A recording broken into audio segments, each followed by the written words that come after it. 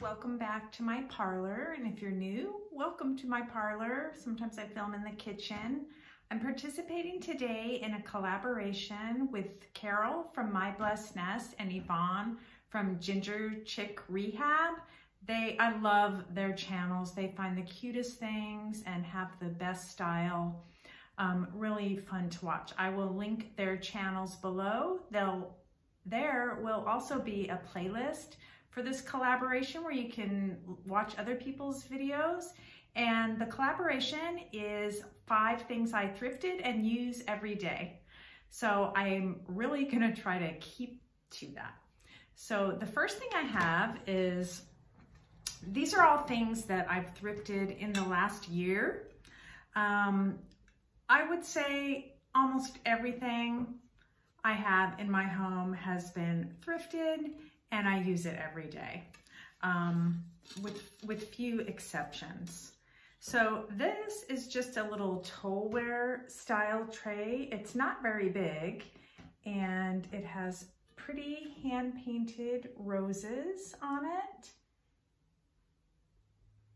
On the back it says art and I would say that says October, but it's missing the end R on October, but I am pretty confident that is what it says. It's heavy compared to some of the other tin type enamel trays that I have and that I've seen, and it's relatively small. I don't know, it's about six inches across, and I use it in my dining room. I work there on my channels and listing things and YouTube. And I use it there as a poster.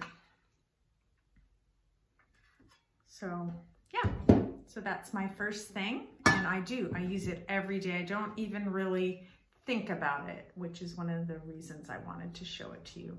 And I got that at a thrift store and I think I paid a dollar or so for it. Not much. I just took the price tag off too. And the second thing I bought maybe two years ago, not quite a year ago, and that is this adorable salt and pepper set. And we, we all know these are a dime a dozen, but I just thought these were too cute to pass up. There's a little store near where I live in fact, it's just a block down from the antique mall. I can walk to both of the places from my home. This is a little gift shop. They have a lot of handmade and imported type items, but it is a booth style setup. But there are a few dealers there that have some vintage things and the people that work there are so nice. I've bought several pieces of furniture from them. Um, let's see if I can, and I use these. This is just a little Dollar Tree um, little ceramic dish that was a dollar, and I keep them in there. So the bottom says Enesco Imports, Japan, and they each have their little sticker on them. Can you see them? Oh my gosh. I don't know, maybe it's upside down. I can't tell. Anyway, I think they're just darling and sweet. And I keep those on my kitchen table and use them. The next thing I have is a Corning pan. This is a roasting pan and I think it's about 13 inches across. It's that pyroceram that it, Corning is known so well for. It's kind of like a little enameled ceramic. I, I, when I was growing up, my mother didn't really use too much Corning cookware or dinnerware, but I've only discovered the joys of this recently since I started selling online in the last year. I used to sell in a booth years and years ago when my kids were little. But um, anyway, people love their Corningware. And I thought, and I was finding lots of it in the thrift store. And I thought, why not give it a try and try it for myself and see if I like it. And I tell you, I wish I had done it 20 years ago. For those of you looking for vintage items to use when you have little kids that are um, durable and don't break easily, I highly recommend Corningware, Corelle dishes. Anyway, I love this roasting pan. I have one for sale on my Etsy shop, Dot Likes Red right now. It's brand new. I don't think it was ever used and it's in its original cradle. It came with a little, one of those metal cradles with wooden handles that you could use to serve and it is so cute. Uh, mine was in almost perfect condition when I bought it. And I bought it either at Goodwill or Salvation Army. I can't remember which one. And there's a way to date, you know, if they were in the 60s or 70s or later. I think this pattern ran from 1958 to 88 with some anniversary issue in between. Anyway, I use this all the time, roasted vegetables, and I think they're just cute to cook in and serve in.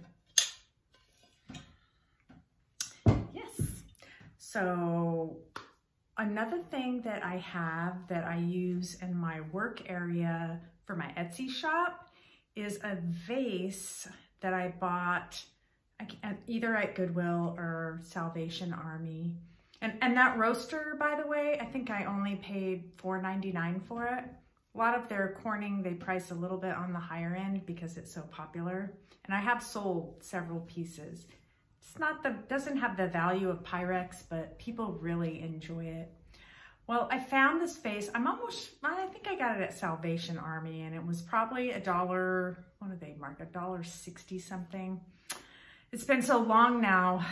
Um, I can't remember how they're pricing things.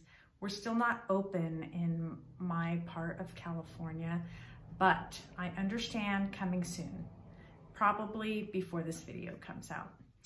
So I saw this vase and I just scooped it up and put it in my cart and I ran it home and I thought someone is gonna really love this. Because I really loved it. And it's just a ceramic vase with a little bird. I don't, I don't know what that is. Mockingbird, magpie, I'm not sure. Looks like the mama may be feeding her baby. I love the colors. I love the black on it with the pink and the yellow next to it. I don't know the age of this vase, but I really, really love it. And I was cleaning it off. There's no marking on the bottom.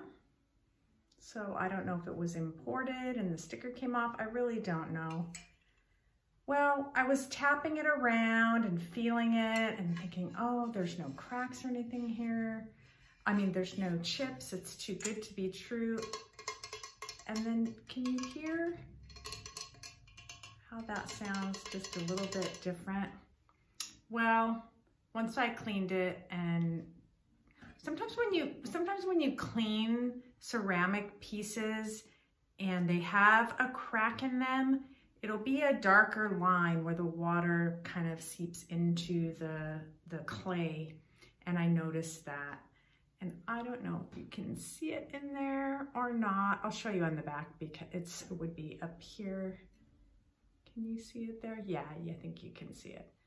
And it does go through to the back. You can, you, can you feel, hear my fingernail click there?